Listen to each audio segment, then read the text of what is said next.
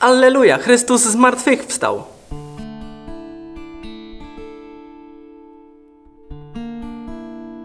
Cały tydzień byliśmy na zewnątrz, a dzisiaj jesteśmy w piwnicy. Wiecie dlaczego właśnie tutaj? Bo tak postąpili uczniowie Jezusa. Gdyby zostać jedynie w domu, o zmartwychwstaniu nikt by nie usłyszał. Uczniowie przegapili ten moment. Ukryli się. Dopiero kobiety, które przyszły do grobu, im powiedziały, że go nie ma, tak by się nawet nie spostrzegli.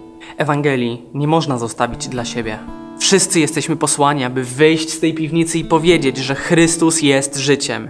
To nie jest przywilej księdza, żeby iść i mówić, że Bóg, Chrystus jest życiem. Jeśli wierzysz, to jest Twój obowiązek. Kiedyś każda myśl o wystąpieniu publicznym paraliżowała mnie. Nie byłem w stanie wydusić z siebie ani jednego słowa. Gdy odkryłem, jak wielki jest Bóg, powiedziałem sobie, że mój lęk nie może być przeszkodą w głoszeniu tej wielkiej miłości. Czy to sprawiło, że się mniej bałem? Nie, ale oddawałem ten strach Jezusowi, bo wiedziałem, że On chce wykorzystać moje ręce, aby pokazać innym, że prawdziwie zmartwychwstał i jest z nami. Dziś obchodzimy niedzielę zmartwychwstania Pańskiego.